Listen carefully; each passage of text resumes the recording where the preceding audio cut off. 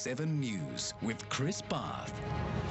Good evening. Pauline Hanson's not the only one asking, please explain, after her legal challenge to the state election result took a dramatic turn. A Sydney father of three has come forward saying he's the mystery witness from Queensland who'd claimed the vote count was sabotaged. The search for Pauline Hanson's Michael Ratner is over. He's someone else. My name is Sean Castle. Oh, I have represented myself as being Michael Ratner. The Glendenning school teacher has been unearthed after a police warrant was issued for the arrest of Michael Ratner. What do you say about the email?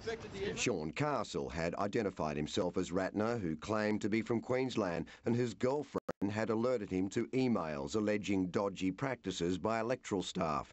Pauline Hanson was convinced they'd cost her a spot in Parliament. I sincerely apologise to the Supreme Court uh, for my conduct in not attending the court. It's therefore obvious that uh, Pauline Hanson's case has completely collapsed. Electoral Commission staff caught up in the matter are bemused. What can you make of it? What can you make of it? Very strange. It is very strange. There are calls for Pauline Hanson to drop the case. Her legal team denies it's been fooled. Because he, we've got him to court, he's here. We've got him to court. We don't know what he's got to say yet, do we? Pauline Hanson's lawyers say they've had three conversations by phone and email with Michael Ratner, but before now have never met Sean Castle. He'll be back at the Supreme Court on Tuesday to please explain.